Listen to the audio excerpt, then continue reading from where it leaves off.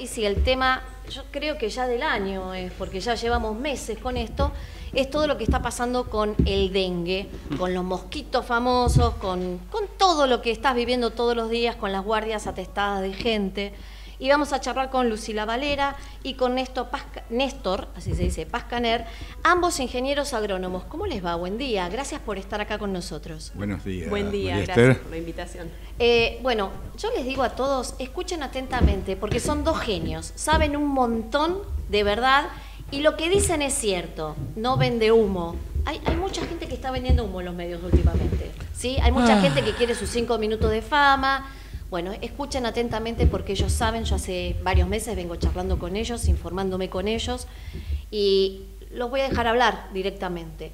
Eh, ¿Qué es cualquiera de los dos, no? Se van turnando y me van contando qué es lo que está pasando ciertamente con este tema que nos tiene, a veces uno le pone un poco de humor, pero nos tiene muy preocupados a todos. Bueno, en el 2019 la...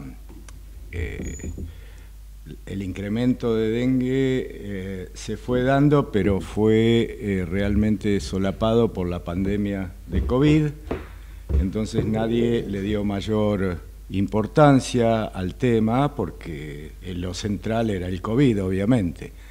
Eh, la Defensoría del Pueblo había hecho un informe que, si mal no recuerdo, ya estaba editado en 2019, que decía que el dengue era un problema creciente en, nuestro, en nuestra ciudad de Buenos Aires. O sea, ya estábamos alertados, no es que nos tomó de sorpresa. Las autoridades estaban alertadas y la auditoría que había hecho la, la Defensoría del Pueblo había sido tremendamente eh, contundente respecto a que no se estaban haciendo las cosas como había que hacerlas, porque, a ver, del 2016 hay un manual de directrices para, para dengue eh, del Ministerio de Salud de la Nación, donde hay obviamente una serie de pasos que seguir. Uno es la campaña pública imprescindible y necesaria de educación del descacharrado, porque sabemos que el descacharrado eh, impide la evolución de las larvas hacia el mosquito adulto. El otro punto es cuando tenemos el mosquito adulto, bueno, hay que hacer algo. Es lo que yo considero que no se hizo o lo que se hizo fue insuficiente y ese alerta se fue dando en el 19, en el año 20, 21, 22. ¿Qué pasa? En Latinoamérica hay dengue desde hace muchos años. En Argentina teníamos mucha suerte porque el mosquito estaba, pero no había suficientes enfermos de dengue como para el picado, el repicado y el contagio. El mosquito tiene que picar a un enfermo de dengue y ahí se transforma en un vector del virus y a medida que vaya picando el mosquito hembra va a ir transmitiendo el dengue a tantas personas como pique en su ciclo de vida. Por ahí vive entre 18 y 25 días una hembra y se puede alimentar varias veces durante ese tiempo, entonces varios van a ser los picados. Les cuento a la gente que ambos tuvieron dengue. Efectivamente. Y no lo pasaron bien. No, no, no, no, no es una depende de, depende de la comorbilidad, pero realmente para una persona sana que tiene dengue no la pasa muy bien. Mm. Sin embargo, tres de cuatro eh, picados van a ser asintomáticos. Es decir, ni se van a enterar. Entonces, no habiendo reactivos y no teniendo disponibilidad, porque eh, al dengue se lo puede determinar por sintomatología clínica. Obviamente estoy hablando desde la ingeniería agronómica, no desde el punto de vista médico, que no lo soy. Eh, pero eh, se determina por la bajada de plaquetas en sangre, entonces es una sintomatología clínica acompañada por eh, el laboratorio, con la baja de plaquetas en sangre se presume que hubo dengue, pero no hay un reactivo en este momento disponible, existe pero no lo tenemos, para determinar si eh, esa persona tuvo dengue o no tuvo dengue. Ahora lo interesante es que la Facultad de Ciencias Exactas de la Universidad de Buenos Aires hizo un informe eh, sobre eh, dengue en, Argentina y habían tomado muestras serológicas, es decir, muestras de sangre, con reactivos, fueron eh, evaluando de cada mil muestras cuántas personas en la ciudad de Buenos Aires estaban enfermas en 2022 de dengue y el 5% de las muestras de sangre daban dengue. Si eso se extrapola a la cantidad de habitantes de la ciudad, pongamos 2 millones, teníamos ya 100.000 personas infectadas en algún momento de su vida con dengue. Pero en la provincia de Buenos Aires, en el Gran Buenos Aires, el AMBA, la cifra ascendía a 24 personas cada 100, 24.5 personas cada 100. Es decir, teníamos 24% de preinfectados de dengue en 2022 y sobre la población de Buenos Aires, un 24%, eh, es uno de cada cuatro personas. Es decir, teníamos el mosquito, no teníamos dengue, después teníamos el mosquito y tenemos dengue, entonces la probabilidad de que este año fuere eh, lo que fue eh, era previsible y advertible. Ahora, ¿qué pasa con esto? Este año eh, el Ministerio de Salud va dando las estadísticas epidemiológicas y lógicamente los médicos, quienes saben, los infectólogos, quienes están eh, siguiendo esto, dicen que esas estadísticas se deben multiplicar por 5, por 7, porque realmente no todo el mundo concurre a las guardias atestadas, porque ya sabe que tiene dengue. Y en este momento todo el mundo sabe que la medicina es el paracetamol, eh, todo el mundo aprendió a que tiene que tomar suficiente líquido para evitar la, deshidratación de células, donde con deshidratación el virus del dengue se eh, prolifera mucho más dentro del organismo y más feroz será la infección y más graves serán los síntomas. Ahora, ¿qué pasa? Después de este periodo de dengue del año 24, se nos viene el verano 25-26, 24-25, perdón. Con semejante población, con una infección de dengue, vamos a tener la probabilidad altísima del dengue hemorrágico. ¿Qué significa dengue hemorrágico? Es una variable grave de la enfermedad del dengue que afecta a aquellos que tuvieron dengue y como hay cuatro cepas, fueron infectadas, por ejemplo, por la cepa 1 y después te pica un mosquito con cepa 2 y vamos a tener altísima probabilidad de padecer, un dengue hemorrágico. Eh, entonces, ¿qué pasa? El año que viene los hospitales no van a tener las guardias atestadas, van a tener terapia intensiva colapsada porque muchas van a ser las personas que van a tener dengue hemorrágico y el problema es la comorbilidad. Personas con diabetes, personas con problemas cardiológicos, en fin, una serie de enfermedades. ¿Cuál es el camino a seguir? ¿Qué es lo que se debe hacer? primero, em, por haberlo hablado con ustedes y para que la gente sepa, ¿no? Eh, Lucila lo, lo charlamos con vos muchas veces muchos barrios, por lo menos en Ciudad de Buenos Aires y creo que en provincia también, pero me meto en lo que sé, no están fumigando. Yo no veo fumigación. ¿Y no fumigan en los horarios que correspondería? Totalmente. O sea, cuando hace unos meses atrás empezamos con, el tema del aumento de los casos de, dengue, lo que veíamos era que había una especie de eh, campaña publicitaria de eh, estamos fumigando, estamos cuidando a la población. Pero bueno, nosotros que estamos en este tema del control de plagas urbanas, eh, nos dábamos cuenta de que realmente no se estaba haciendo lo que había que hacer, porque uno no puede salir a controlar el mosquito a las 3 de la tarde con el sol de enero. Por una simple cuestión técnica, si yo estoy aplicando un producto a las 3 de la tarde, cuando tengo el máximo de temperatura, y cuando el mosquito en ese horario no está en su pico de actividad, y lo más probable es que ese principio activo, ¿sí? es decir, ese insecticida, se evapore, no llegue al, punto al cual tiene que llegar, que es ese mosquito que está volando. Los horarios recomendados eh, son entre las 7 y 9 de la mañana y 7 y 9 de la noche aproximadamente para hacer los tratamientos, porque es un horario donde mayor cantidad de mosquitos vamos a cubrir. No obstante ello, cada fumigación se considera que en mosquito adulto eh, volando posado, va a tener solo un 40% de efectividad. No vamos a matar el 100%. Por ello, hay que repetir los tratamientos tantas veces como fuera necesario.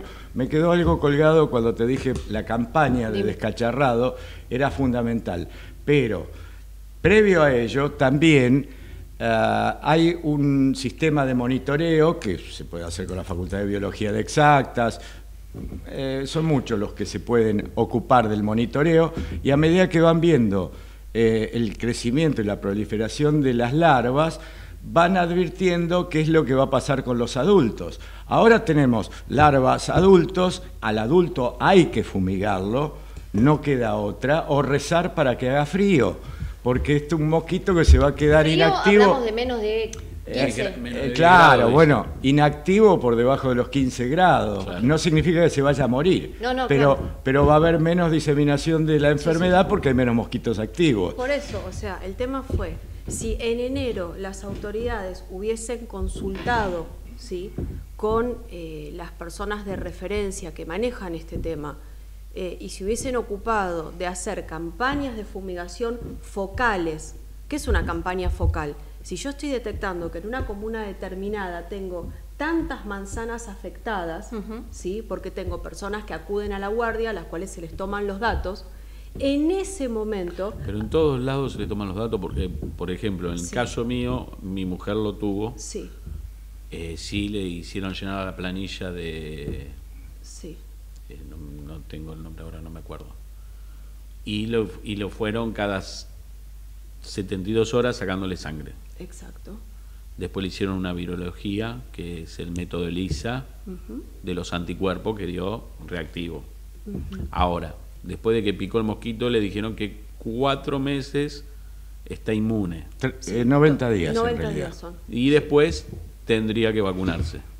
Sí, o sea, la inmunidad es de por vida para la variedad de virus, El son mo- cuatro cepas. Para la cepa. Pero no te, no te cepa. dicen la cepa que es. No lo saben. No lo saben. No lo acá. No, no, no, yo no lo tengo acá, lo abrí. Sí. eh, dice dengue, IgG, anticuerpos, método ELISA, reactivo.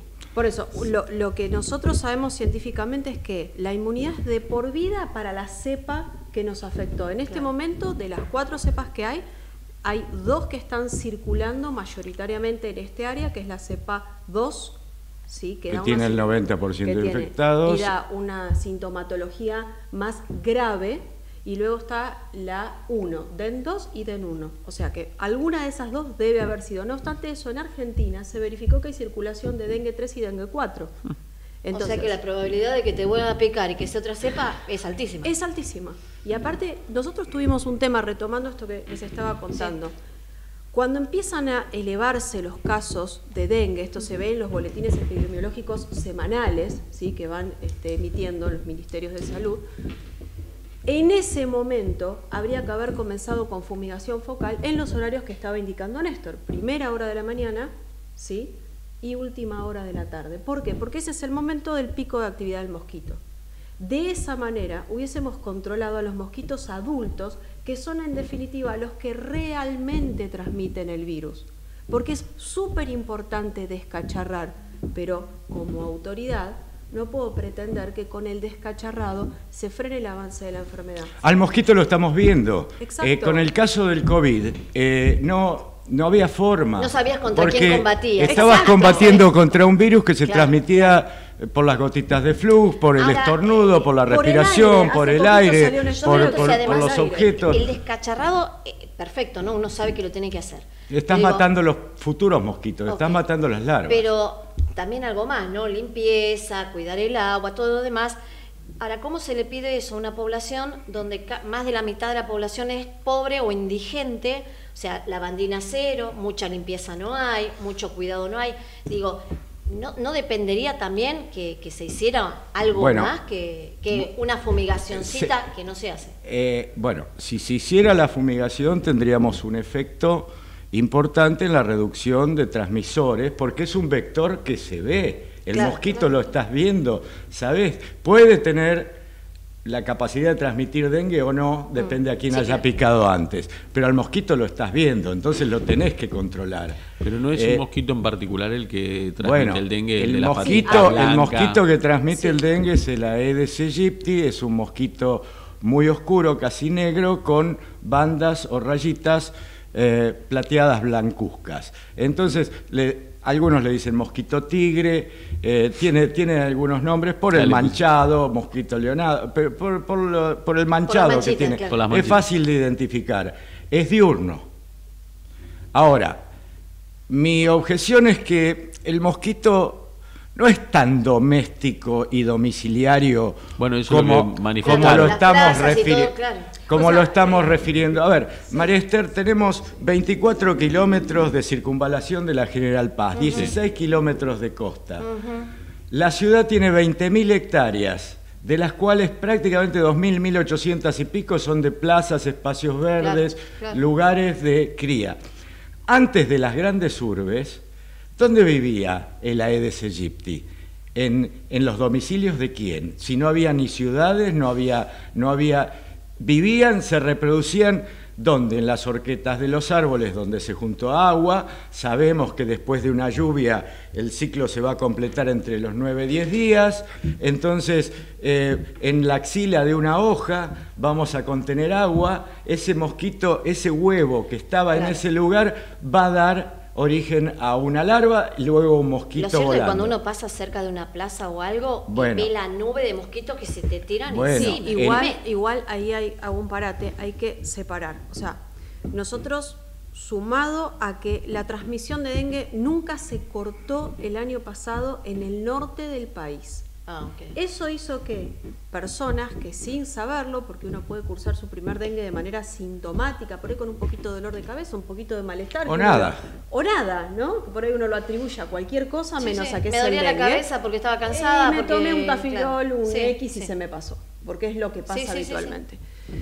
Eh, eso hizo que empezáramos a tener dengue mucho más temprano que lo que solemos tener en lo que es Ciudad de Buenos Aires y AMBA Sumado a eso, otra cuestión que no tuvieron en cuenta las autoridades es el cambio en el patrón de lluvias. Veníamos de varios años de sequía, ¿sí? con el fenómeno de la niña, y pasamos hacia el niño. Es decir, ¿era previsible? ¿Esto se pudo prever? Sí, sí, sí, porque ya sabíamos que íbamos a tener un incremento en las precipitaciones. Y como vos bien decís, Sabemos que tenemos gran cantidad de la población de la Ciudad Autónoma de Buenos Aires viviendo en condiciones muy precarias. ¿sí? Y si ya tengo la enfermedad que está presente en el norte del país cuya circulación nunca se cortó en el invierno. Tengo el mosquito presente, tengo el lugar donde acumular agua y tengo las lluvias. Sabíamos que era una bomba de tiempo y esto fue advertido. Por eso es que, eh, bueno, esto lo hablábamos porque cursamos el dengue a la vez, lo hablábamos con él, decíamos, esto se pudo haber prevenido.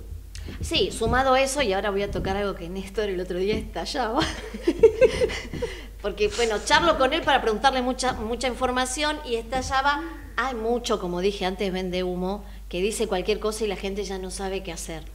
Entonces, ¿ventilo o no ventilo? Eh, ¿Me pongo el repelente o no me pongo? ¿Me vacuno o no me vacuno? Y hay tanta gente hablando a la vez. de la esencia de vainilla también. El shampoo. El shampoo. El shampoo. No, bueno, y lo último fue, pónganse manga larga y pantalón largo ya. Sí, bueno.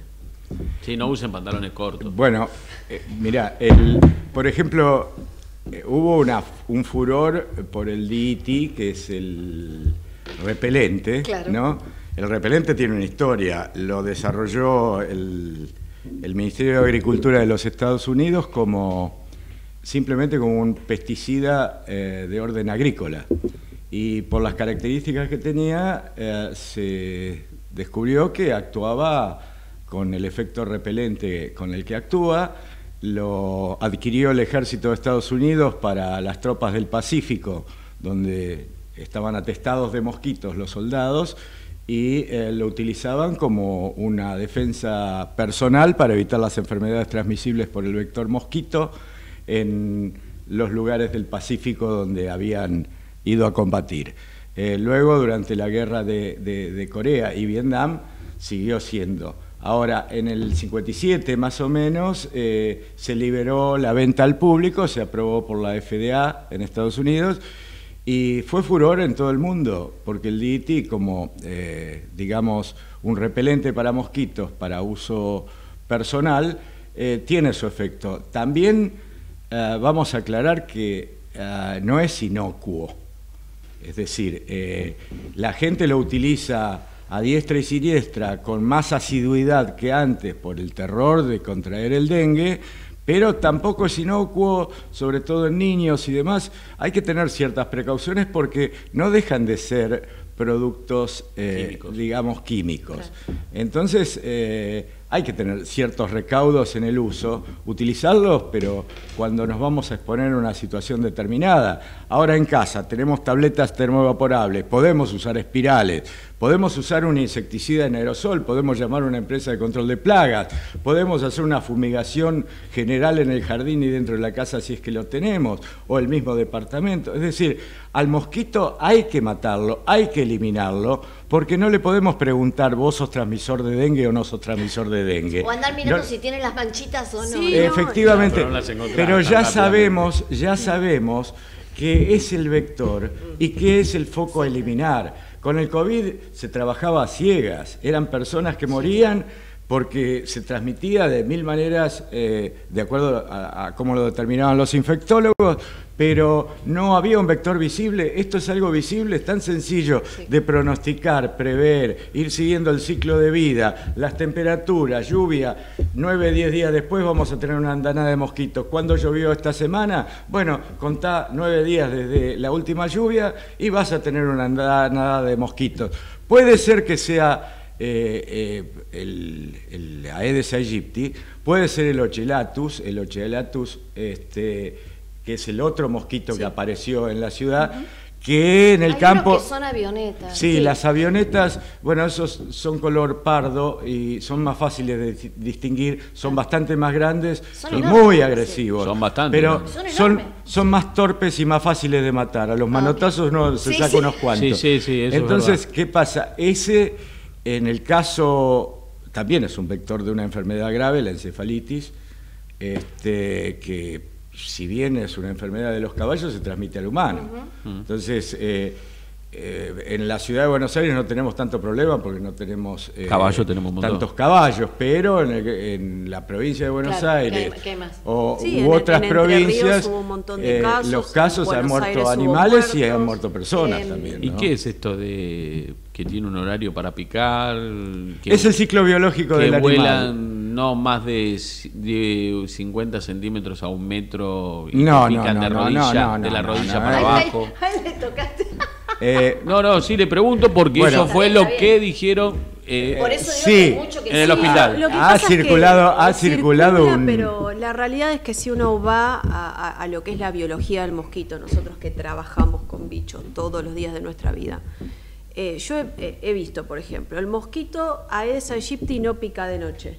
Mentira. Me he matado. Es diurno. Mosquitos picándome a las 9 de la noche en la frente, en los brazos, pica solo en los tobillos, pica mentira. Mentira, el mosquito puede volar hasta 3 metros de altura y nosotros unos 60, unos 70 medimos. Entonces, eso de que solo en los tobillos, solo en las pantorrillas... Además uno ve los mosquitos en el techo, a veces uno mira para arriba está en el techo. si bien Aedes aegypti tiene la particularidad de que es un mosquito de hábitos diurnos. Es el hábito diurno, pero no significa que va a picar solo de día. Claro, O sea, si el mosquito tiene la oportunidad de alimentarse a las 9 de la noche, a las 10 de la noche, a las 2 de la mañana, y lo va a hacer también. Que la probabilidad sea menor es una cosa. Pero que lo haga. Pero que lo hagas otra. Por eso alertamos a la gente que, preste atención y que no escuche cualquier cosa, que se informe. Por otro lado, el mosquito reacciona a la concentración de anhídrido carbónico. Entonces, eh, sea de noche o de día, a pesar de que los hábitos del mosquito sean diurnos y lo querramos poner como una mascota domiciliaria, el mosquito eh, vive, eh, está, es preexistente a la humanidad, por empezar. El, el Aedes, el Ochelat, son preexistentes a la humanidad, están determinados hace muchos años. Están eh, encuentran ejemplares adentro de, una, capa de carbono, de piedra o de... Em, nosotros la verdad que los estaríamos escuchando muchísimo más porque nos interesa. Vamos a más adelante porque esto no va a terminar acá. Yo creo que, como ustedes dijeron, esto va a dar para hasta mitad de año eh, tranquilamente. Y aparte ya se está previendo que va a ser un otoño cálido. El otro día Estamos al horno con eh, estaba viendo las estadísticas de, de- de la NOAA, que es el organismo estadounidense que este, es, es el, el- el más creíble, ¿no? donde podemos ir a buscar información sobre el fenómeno niño-niña, y están previendo que el niño se queda hasta primavera por lo menos, o sea que se ve, entonces, vamos a seguir con temperaturas templadas, vamos a seguir Mucha con agua. precipitaciones, y la realidad es que hay muchas personas con dengue. Sí, claro. Entonces, Y el ciclo no se va a el cortar tan no se rápido. va a cortar. Entonces la propuesta es, nos tenemos que ir una tandita ya, pero la propuesta es que ustedes vuelvan. Eh, sabemos que eh, ambos pertenecen a CEPI, al Consejo Profesional de Bioagroindustriales de la Argentina, que trabaja muchísimo y ustedes están trabajando dentro de CEPIA eh, para alertar a la gente, para investigar, para seguir formándonos un poquito en lo que tenemos que saber. Las redes sociales son en Instagram, en Facebook, arroba sepia. Si ustedes quieren decir sus redes o algún lugar donde leer o saber más o comunicarse con ustedes, aprovechen ahora. A través del CEPIA. Eh, del- del. Consejo Profesional de Ingeniería si- Agronómica, está la Comisión de Sanidad eh, Ambiental, que es donde nos reunimos los que nos dedicamos a la entomología, al control de plagas y a darle seguimiento a estos temas. Aclaro que venimos alertando sobre esta situación eh, con bastante anticipación. Y bueno, ahora tenemos mosquitos, tenemos enfermos con dengue, tenemos todas las condiciones para que el verano que viene o los próximos tiempos templados, donde el mosquito no se atenúe con el frío, vamos a empezar a ver casos de dengue hemorrágico y de eso tendría que hablar un infectólogo. Pero vamos a tener una sorpresita si no se hace la fumigación en tiempo y forma y si no se combate al vector, que es el mosquito adulto, hembra, el que pica. No le vas a preguntar si es hembra o macho. No, Con la fumigación se va a morir el 40% Y- y si me y la asiduidad de para cerrar, el mosquito no entiende lo que es una línea municipal, no sabe lo que es intradomiciliario, peridomiciliario. Ah. No, no, no. Si el cacharrito está en la vereda, la señora no lo va a ir a buscar porque está en la vereda, pero el mosquito se está criando ahí. Claro. El arbolado urbano es suficiente. Bien. es. Eh, igualmente, insisto, los queremos acá eh, en un tiempo para que nos sigan informando, para que sigamos actualizándonos de cómo está la cosa y para seguir concientizando. ¿Les parece?